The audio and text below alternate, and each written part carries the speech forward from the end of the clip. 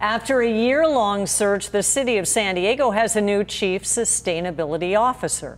And she's joining a team that's trying to make the city a more eco friendly place to live and work. ABC 10 News anchor Lindsay Pena spoke exclusively to her today and has more on her plans for San Diego. Yep, Derek and Kim, this position was one the city says they took time to fill because they wanted to make sure they had the right person. Shelby Rust Busso tells me the job holds so many opportunities, she's just eager to get started. It's a question Shelby Rust Busso says she gets asked all the time.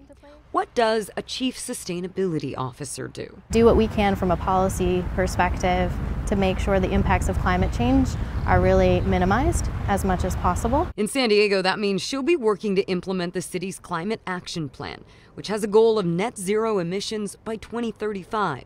She says her job really covers a lot of areas. It really touches on every single facet of city work. So we have to work on recycling, we have to work on flood mitigation. We have to work with our buildings and our energy um, space and our municipal utilities or general utilities, every partnership that we can. Busso will also lead the city's work on the long term planning and implementation for decarbonizing buildings and neighborhoods.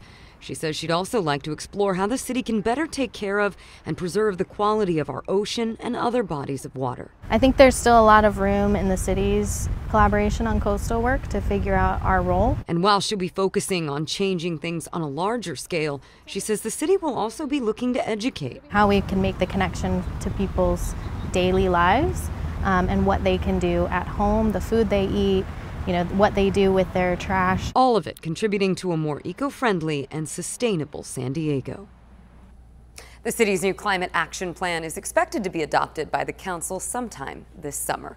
In the news, in the studio, Lindsay Pena, ABC 10 News.